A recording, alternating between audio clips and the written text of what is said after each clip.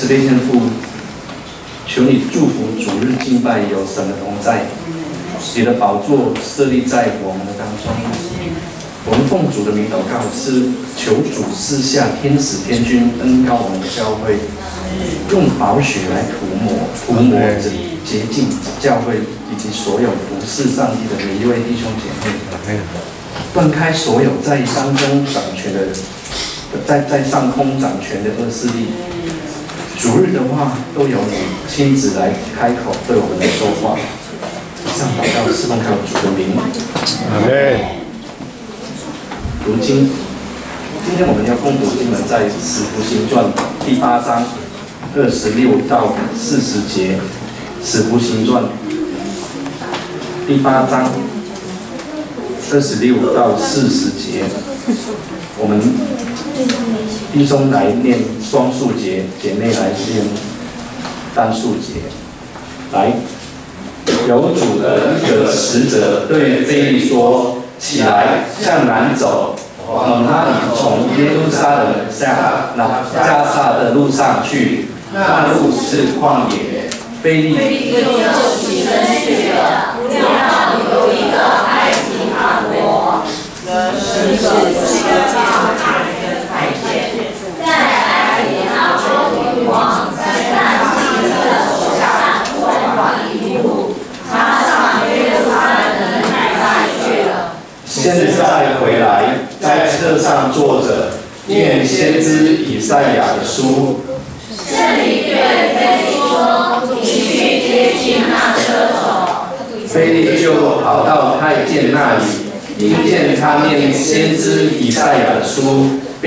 他说：“你所念的，你明白吗？”他说：“没有人指教我，怎能明白呢？”于是请菲利上车。与他同坐。他所念的那段经说，他上被牵到宰杀之地，又像高高在剪毛的人手下无声。他也是这样不开不开口。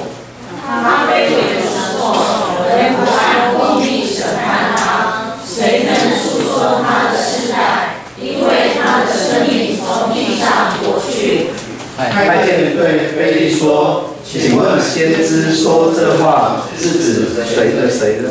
是指着自己呢？是指着别人呢？菲利就开口从这经上起，对他传讲耶稣。两人在往前走，找到有水的地方，太监说：“看啊，这里有水，我受洗有什么妨碍呢？”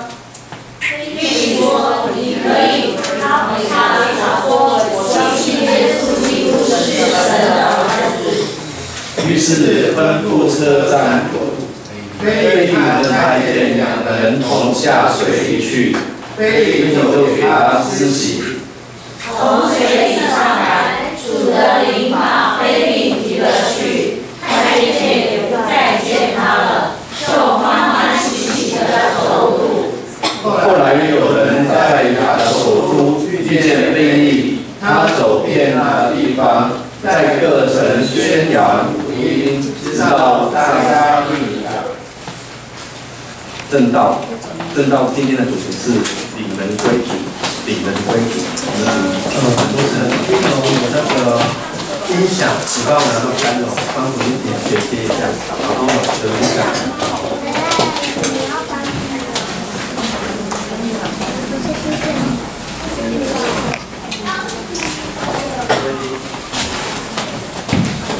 弟弟兄，大家平安。好，还有姐妹啊，好，还有姐妹。那呃，昨天上个礼拜，我们用一个福音使者啊，来在这边做呃上帝话语的一个呃了解。啊，在这个当中，我们期待说，我们真的呃能够在随时随地成为呃别人呃祝福的一个使者，让他们有机会来认识。呃，上帝。那在今天，牧师用这个理论归主，呃，来在这个当中来想一想，如果我们常常说我们要去传福音，要跟一个人介绍上帝的时候，那我们可能会遇到如何的状况啊，怎么样的困难？好，那我们来看一下，呃，其实呢，在台湾哦有这样两个一个名词哈，它说一个叫做陆家之门和呃非利之门。那我们知道，就是说台湾有一个俗语叫什么？师傅领进门，修行在个人。所以呢，在我们当中，在台湾，当你是说陆家之门和非利之门的时候，它是指两件事情。陆家之门指的就是医疗传道。因为在台湾的呃基督教跟在这个里面跟三件呃三个领域的事情呃有很多的一个连接，一个就是医疗，一个就是呃教育啊，医疗呃教育啊，那呃第第三个哦就是台湾第一份报纸哦叫做台湾教会公报，到现在还有存存在哈，所以这医疗教育和报纸这个是当时。呃，台湾教会带给，呃，那时候的教会带给台湾哦，迈向一个进步的时候的呃一个过程啊，所以呃，陆家之门指的就是在医疗的部分。我们知道在呃北部有马街哦博士啊，他也是一个医生啊，替人家拔牙哦啊，然后我们现在看到马街医院，然后在南部有玛雅各医生啊，那他也是一样，就是做医疗传道啊。那在南部有建立像呃那个新楼医院好，之后还有彰化基督教医院好，那这些都是医疗传道。那非利之门，好，那陆家这个之门我们今天不讲，我们讲的是非利之门。那陆家之门是因为使徒行传和陆家福音，哈，它本来作者就是一个医生，好，所以我们用这种方式呢，我们把它称为呃医陆家之门，哈，医疗传道。那非利之门呢，我们指的一般来讲就是直接向人来传福音，好，就是说如果你要引人进来的时候，哦，跟陆家之门很类似的是一些台湾的教会。我不知道你们还小的时候有没有去教会拿过一个那个卡片啊，上面就有那个亮粉哦，在那边啊，然后很可爱啊，摸起来的一些一些粗粗糙哦啊，然后诶会发糖果，所以以前台湾的教会呃在可能还很小的时候被人叫做什么面粉教。就是去那里有面粉可以拿，有糖可以拿，有一些呃美元哈美国援助的物资可以拿。所以台语有讲一个，就是好挖价，好挖钱，好挖看不起你那一钱，好就是说哎给我吃给我穿啊，我欠钱的时候也不用还。所以那时候虽然有点戏谑的味道在里面，可以说讲的就是说哎这是一个让人家来接触的一个方式。那今天我们讲的这个非利之门是很不容易的，是什么意思呢？就是说非利之门它就是没有用其他呃任何的方法，就是直接你面对面两个人你就跟他传讲福音。那我们在台湾有类似像三福的呃一个传福音的一个训练啊等一等啊等等，都都是这种方式。好，那我们来看，其实这个是。让人哈最能够接近上帝的啊，那我们来看今天的记载。第一个说，在旷野相遇的两个陌生人，我们看看在文章中所呃遇到的啊，呃所讲到的这两个人在文化、种族、身份、地位，哈呃都不不同，甚至于他遇到的是什么太监？那那时候太监可能是很特殊的，那有的太监因为去去世啊之后。好，就是说他把呃那个生殖器官切掉以后，可能有时候因为荷尔蒙的改变，甚至于连他的性别的取向都会完全不同。可是这么一个特别相遇的经验，我们从这里要来想一件事情，就是说我们周遭，我们每一个人都有不同的家庭的背景，都有不同的生命的经历。当我们这样相遇的时候，你要如何跟这个人去讲耶稣呢？因为他完全可能完全都不认识耶稣。我曾经讲过，在呃前一阵子啊，淑淑慧姐啊跟我分享，就是呃她家老人家过世的时候的一个经验。如果我在这边还是提一下。就是当那时候他爸爸的丧礼的时候，因为家里的人都不是信上帝，但是呢，在这个当下的时候，他要如何在这一个最后的一个仪式的当中，或者最后一个一般世间人子女尽孝道的方式当中，他可以在这去呃有一个平衡。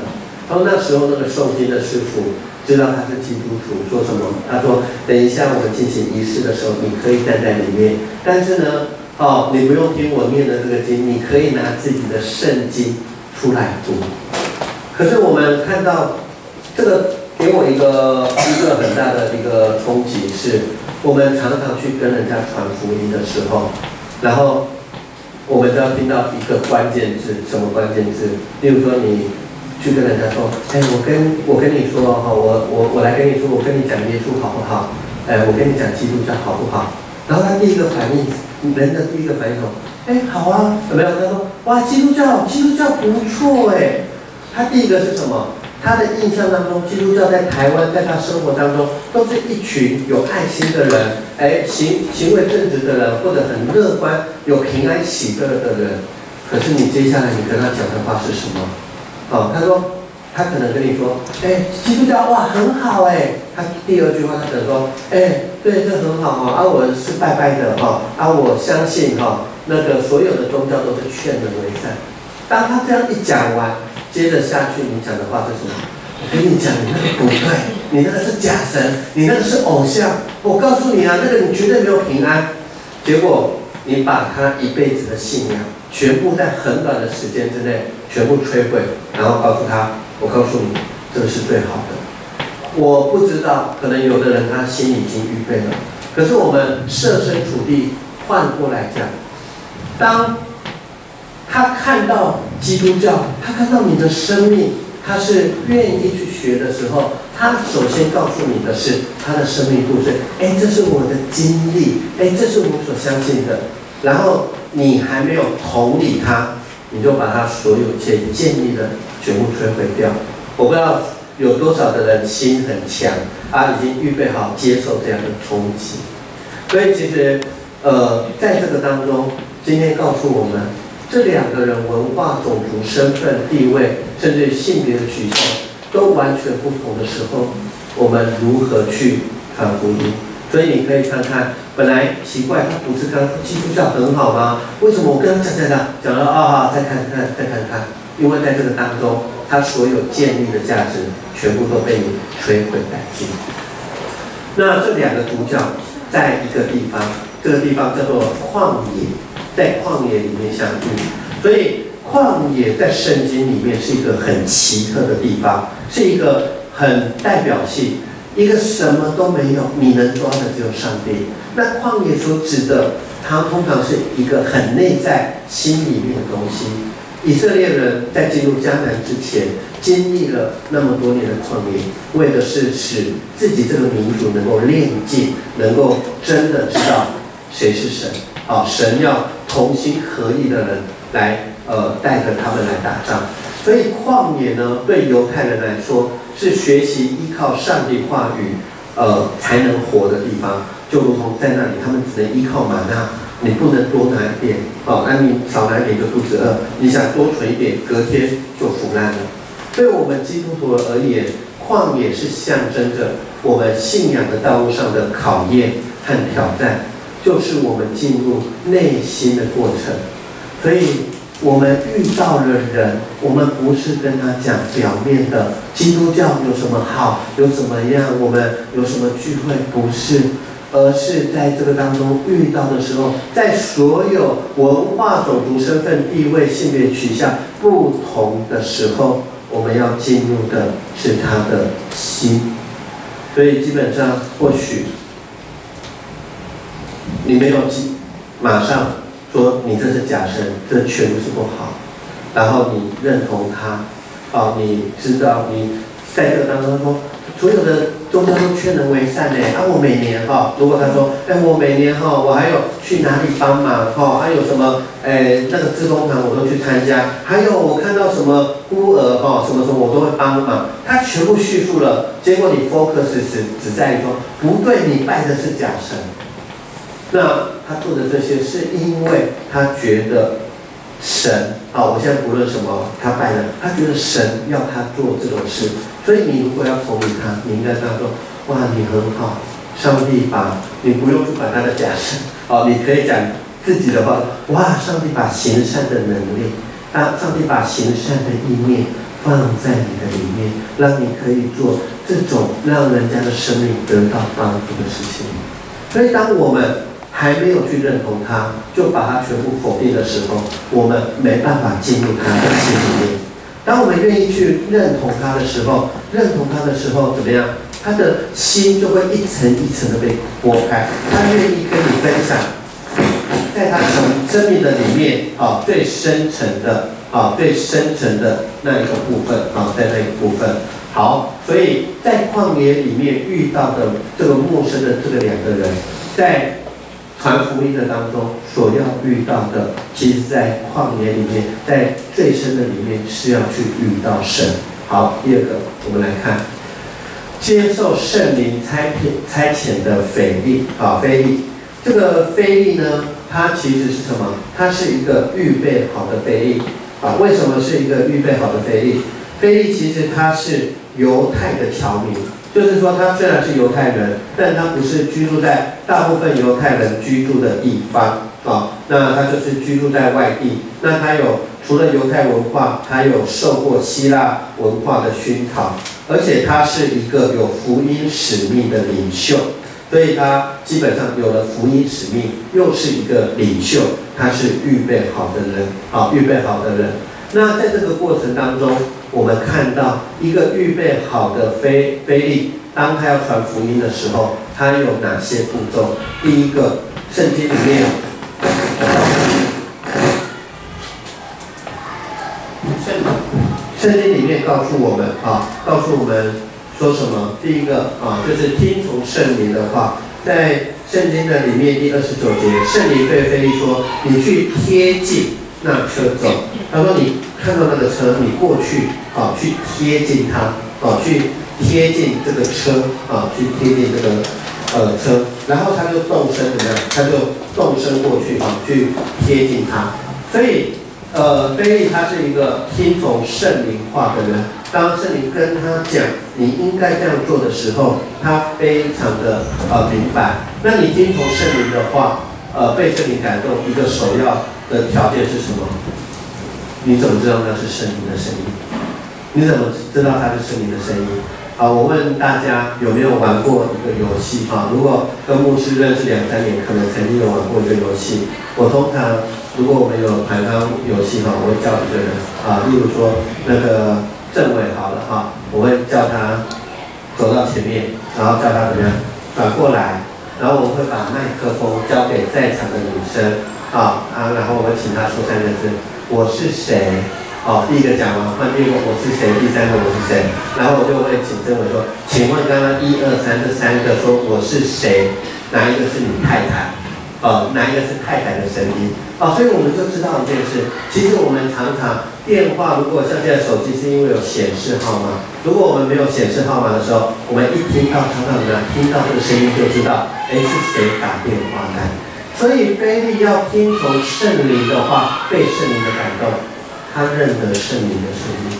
如果你不常常跟上帝通电话，你不常常去呃听上帝的话，上帝跟你讲话的时候你认不得，这个还不是最惨，最惨的是魔鬼讲的话，你以为是上帝，哦，那个会更惨，哦，所以。呃，他预备好的就是他有一个很好的一个灵修的生活，有很好的灵力，他知道什么是从圣灵讲出来的话。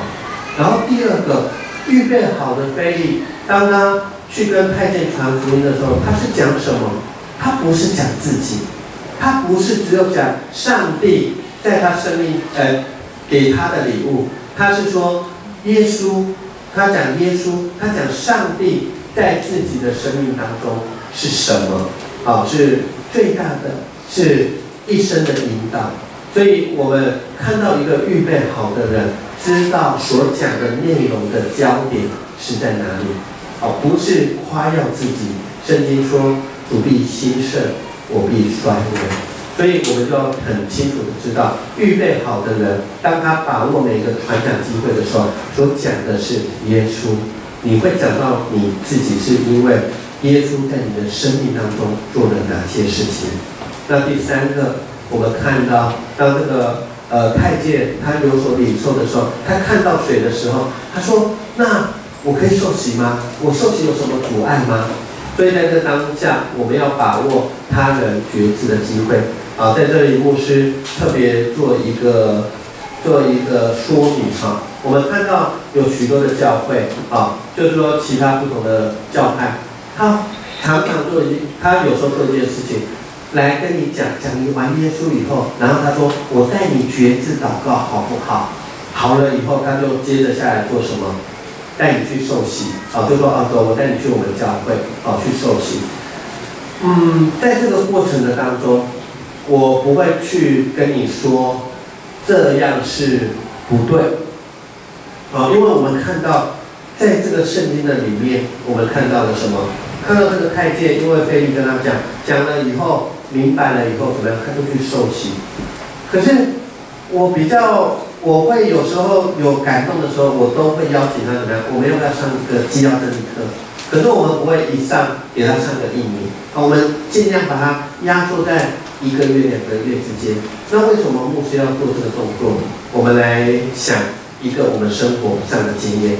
哦，假设我今天，哦，我是一个卖卖一百寸电视的人，好了哈，一百寸的电视要多少钱？我们讲这些，呃，呃，十五万块好了。哎，今天有人哈，有人来过，哎，我要买这台电视，我就说啊，好，打包带走。然后一个礼拜以后他来退货，他说我不喜欢呢，啊，这个怎么样怎么样怎么样，不会退，可以退。那这是一种做法。第二个做法是，当你说我要买这一百寸电视的时候，我说好，哎，但是给我一点时间，让我介绍一下。哇，这个什么功能？这个有什么功能？这个是这样，哎，不知道有没有符合你的期待？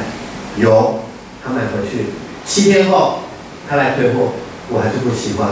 但是我们想一想，第一种状况和第二种状况，我自己啊，我自己的感觉是第二种状况，退货的机会怎么样？比较少，因为你有稍微跟他讲。好，那回到我们的信仰里面，一个人有热情、有感动、要受洗的时候，牧师绝对没有权利说你不要受洗，这是来自上帝的，呃，一个给你的一个感动。但是牧师要做的是，我讲哦，不是把关，而是趁在很短、在有限的时间里面，尽量告诉你，在我们所有的这个信仰的里面，哪一些是这个信仰所讲的，那不然会遇到什么？遇到。呃，开个玩笑，我以为来信基督教都是拿礼物，我怎么知道要背十字架？哦，这个就说像这种啊，那有人离开的时候，那我们的心里，我们就会觉得啊，那这样很可惜，或者心里会觉得很难过。所以在这里我要讲的就是说，把握他人觉知的机会。那这里面又告诉我们一件事。像我刚刚讲的，有些教会他做的事是不认识的人，甚至他说你有没有听过耶稣？他说没有，讲讲讲完以后，他哦很好很好，觉知祷告哦很好，然后就去就带他去受洗。可是我们看到圣经里面这个太监怎么样？他原本对这个信仰他就有在追求，他有在悟道，好，所以他只是在关键的一些的问题上他还不清楚知道，所以我觉得在。呃，洗礼哦这件事情的上面啊，有人会问，是一定要上基要真理吗？我说不一定。例如说，你已经在教会录到三年、四年了，你基要真理八堂课的里面，哎，那平常跟牧师的相处或者。有一些的部分，我们就是带过去，或者说这个我相信你知道。那既然相处很久，我也大概知道你面临的问题是哪里。那我们就针对那几点，我想这样就可以啊，那个呃，确定啊，你是不是真的想要受洗。所以接受圣灵差遣的腓力是一个预备好的腓力哈。那预备好的腓力是什么？是一个愿意改变自己的腓力。我们这个就要。有点回想到我们刚刚第一个大例，什么叫做愿意改变自己的魅力？保罗在其他地方告诉我们一件事：我遇到怎么样的人，我就做什么样的人。如果我们传福音是说我要把我知道我想要的全部给你，然后不管你要不要，这叫强迫推销。但是呢，当我跟你相处了之后，我在你生命当中，每一个人一定都需要耶稣，但是需要耶稣帮助他生命中的哪一个部分，可能不一样，可能不一样。所以呢，我们在这个当中的时候，这个菲利，他是一个刚刚讲过，他是一个犹太的侨民。其实，在当时犹太人看这些的外邦人，看这个尤其是外邦的人里面的太监，他们用什么字来形容他们？地狱里的柴火，意思说这些人根本不可能有机会得救。当彼得要去跟那个尼哥底母啊去传福音的时候，上帝先给他看到一个意象，三次有布从上面下来说，彼得拿去吃。彼得说这是不洁的东西，我不吃。连续三次，彼得知道原来福音不是犹太人所独占的，所以当时的菲利他也必须要改变他的立场，呃，他的不是立场，要改变他的想法。他愿意为主所使用。呃，我们举个例子，如果他，呃，他是一一块陶土，他可能原本说啊，主啊，你把我变成一个大碗公，可是上帝跟他说，我不要，你不是大碗工，哦，我给你要做的是变成一个大盘子。所以预备好的菲利是愿意改变自己，来成给让主使用，好看主要怎么样使用它，是最好的使用。好，所以预备好的菲利是自己预备好，好所有该有的装备，而他的心也预备好，愿意改变自己。好，第三个，我们来看，那在这个里面呢，我们来看到菲利所做的事情，所做的事情是什么？就是我们传福音的时候，其实是我们在帮人家解惑，我们在帮他们的生命来提供生命的解答。哦，不要心里说啊，没有啦，我我有那么伟大吗？这不是伟不伟大的问题，这是一个使命，这是主耶稣基督的交代。你们要让他们了解我是谁，你们要让他哦，你们要去让他们了解我是谁。所以在这个里面的时候呢，当他贴近那车的时候，三十节啊，看到哎，你在看以赛亚书，他就问那个人说：“你所念的，你明白吗？”太监回答他说：“没有人指教我，我怎么能够怎么明白？哦，所以他就上去了啊，他就上去了。所以向人传讲上帝的话语，其实不是那么简单的问题啊，而简单的事。好，请问，如果你是一个基督徒，你读了很多的圣经，你每天有在灵修，当你跟人家传福音的时候，其实。”有时候遇到最大的问题和状况是什么？其实我们可以把它用，如果用一句话比较直接来讲，就是我们从经文所阅读的和这一个需要帮助或这个人生命需要改变的这个人，他的生活经验所明白的是有差距。就说哦，你跟我讲这些啊，那呃，我我忘记是谁。呃，跟我说啊，前一阵子不是呃刚选举完那个信心希望联盟，呃不是有个陶俊亮，哦，那他是呃巨星造船，就是我们从呃机场这样下来的时候，就会看到那个十字架，啊，那有一次他生意在非常急迫的时候。他去找，因为另外一个也是蛮有名的人哈。那我们讲是谁？一个基督徒的呃企业家，对不对？那他们以前在军中的时候，因为他是当海军，就是同学。后来他那个同学，那平常也有一定在联络哈。然后又是基督徒，所以这是那个陶俊亮在一生的当中遇到一个很大的一个事业上一个挫折，一个一个困难的时候。他去找这个基督徒的朋友、企业家，然后告诉他他的难处，他希望在这个艰难的时候，他可以帮助他。可是呢，在这个当下的时候，哦，因为平常大家交情也都算很不错，结果这个企业家、这个基督徒就告诉他：哦，好，来，我们来祷告，上帝一定可以解决你的问题、你的困难。我讲这个意思就是说。当人家听到我们跟他分享，耶稣是你生命的帮助，耶稣是你哦你讲了很多耶稣的好，他只问你一句话：耶稣现在我看不到，但是面对我的困难，你能为我做什么？你能为我做什么？所以弟兄姐妹，若是我们助人解惑的当中，我们在讲这些耶稣在我们生命中的故事，我们来告诉他，在真理里面你要怎样去认识的时候，我们最困难的是我们所讲的这些的东西和他的生命经验是有冲突的时候，你怎么告诉他，你跟他讲的是真的？在这里，我这部分最后再用一个故事，我曾经讲过，就是有一个从小就在育幼院长大的孩子。待过不同的寄养家庭，在寄养当家庭当中，其实他是每一次的寄养，他受到一次的伤害。为什么？因为寄养家庭当中，那刚好他可能也比较，呃，台语说他胎位哈，运气比较不好，所以有时候一寄养家庭他可以两年三年都可以，啊，甚至于说可以好几年。但是呢，在这个当中，他是一年甚至不到一年就换一个，就换一个，他心里就告诉，就知。就有一件事情，就是说，他们都是看我的表现，才决定要不要让我留在这里。所以呢，他们爱的是我的表现，不是真的爱我。所以当他在五年级的时候，他进入到一个寄养家庭的时候，这寄养家庭是一个基督徒，然后来就对他很客气，他觉得。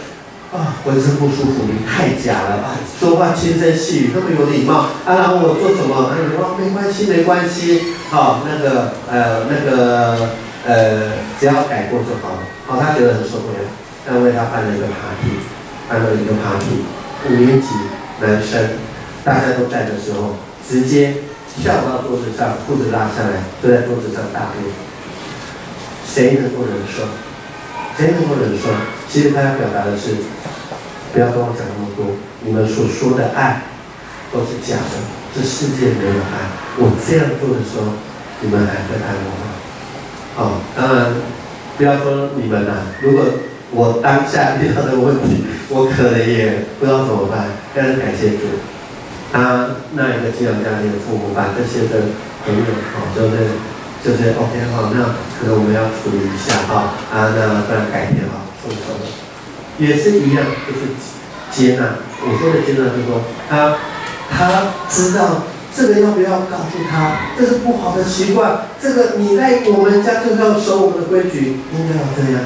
可是幸好神给他们足够的爱心，知道这个孩子他就是因为因为怎么样没有爱。然后，因为就是之前没有人教，或者说他已经不服管教到这样的地步，所以他们还是要爱他。所以这男男男生不断的调皮捣蛋，希望他们赶快把他遣送回幼儿园。为什么？因为当他越激烈的反应的时候，其实他已经被制约了。什么制约？我这样做，这就是我得到的结果；我这样做，这就是我得到的结果。但是没有想到，他面对的是完全打破他过去的这些的已经被制约或他的经验法则。所以在当下，他是非常煎熬的，因为一旦他说他们是真的爱我的时候，他原先以前做的这些不对的事情，全部回来找他。为什么？因为他是在一个世界上已经没有爱的前提之下做了这些事情。但是感谢父母。好，那这一段过程是之前有个淫会，那时候他是在三四年前，这小男孩他已经大学生，所以现在应该已经在社会，好，在社会的当中。所以在他说在那个当下的时候，当他真的愿意让这份爱流进来的时候，他回去检视，包含他所有之前在这些寄养家庭里面所发生的事情，然后每一个。难过的脸，失望的人脸，哦，伤心的脸，那一些的脸都浮现在他的面前，哦，那些，所以他说，当他愿意相信有爱的时候，他才能够看到之前在这些的家庭的人也是如何的去爱他，只是他不愿意去接受。所以在这里我们看到，菲利他不但主动，他也他。也怎么样？他也在这个当中哈，呃能够回答问题。我刚刚在这里问的时候，你能回答他的问题吗？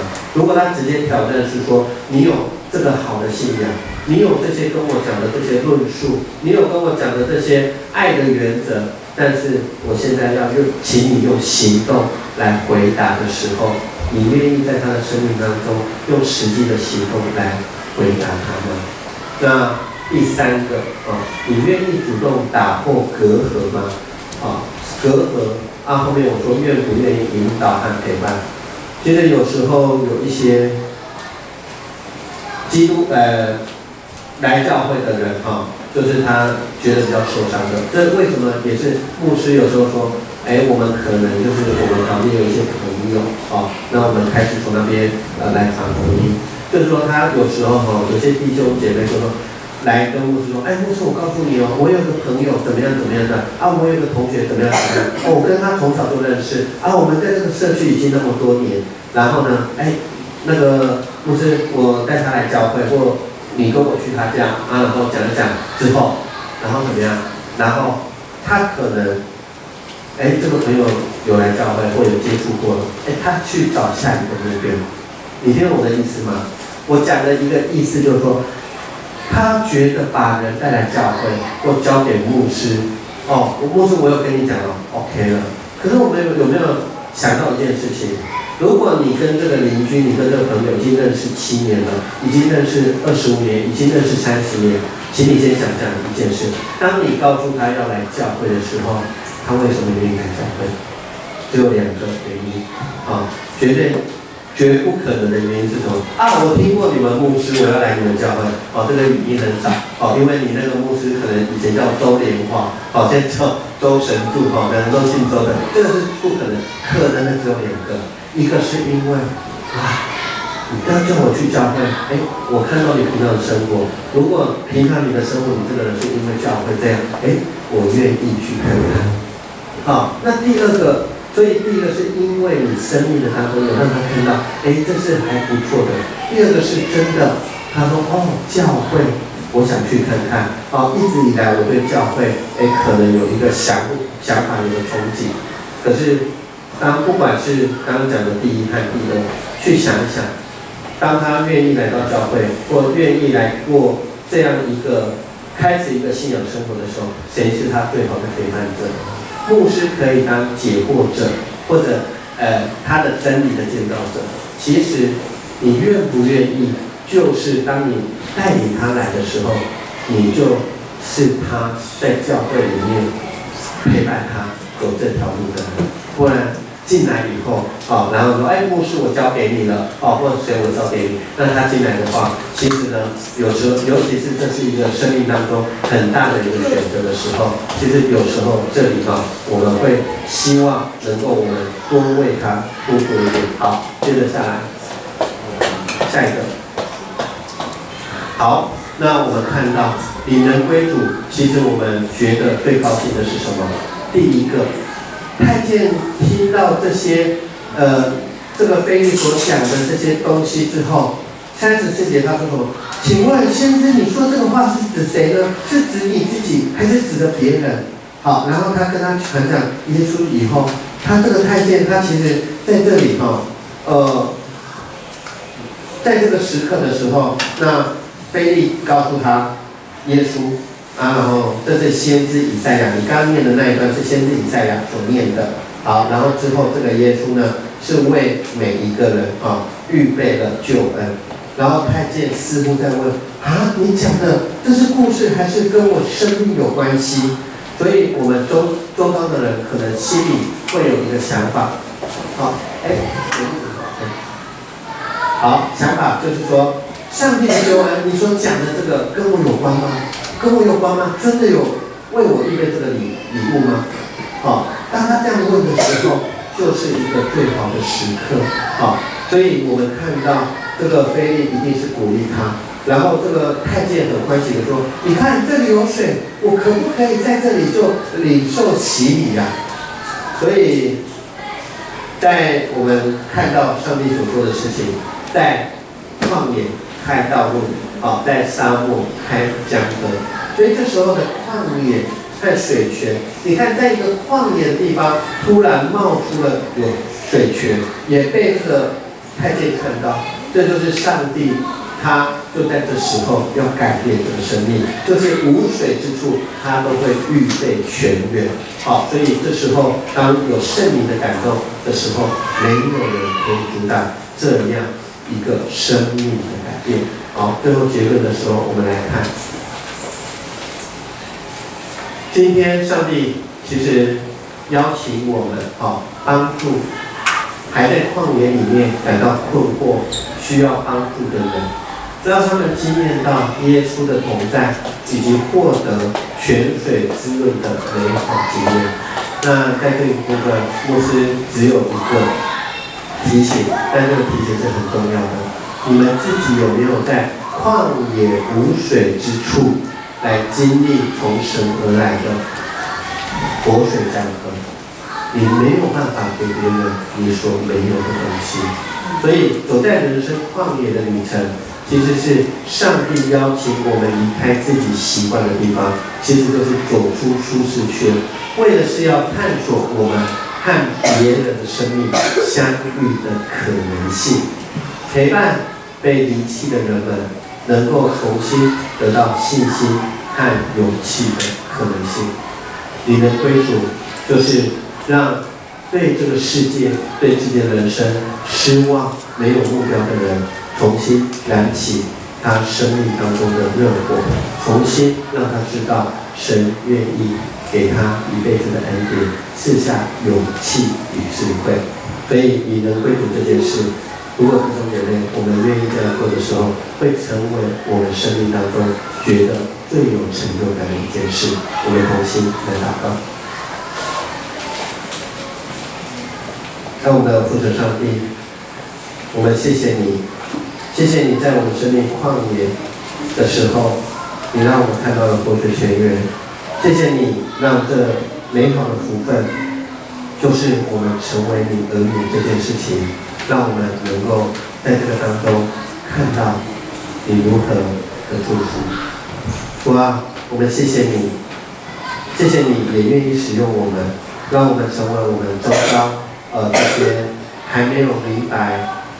救恩的弟兄姐妹的祝福，我们相信，当我们愿意为他们摆上，在你的面前为他们提名，在生活的当中，真的把他们来当做我们传福音的一个对象的时候，我们相信，我们所期盼的，我们所可想可想的，我们所想要他们呃如何在你里面得丰富的时候。我们愿意摆上的时候，我们相相信上帝就会使用我们来成为他们呃生命的祝福，也就是透过我们让他们也跟我们享受一样，呃生命中最好的福分，就是让你成为救主。愿每一个弟兄姐妹的生命连接于你，愿他们的手想要做的工，脚要走的路，都有你的同在和保守。愿他们不但在生命的呃灵性生命呃的树上得以长大茁壮，更是在他们生命的树上能够结出啊许许多多的果实，结实累累来荣耀你的名。谢谢你，祷告奉耶稣基督圣名，阿门。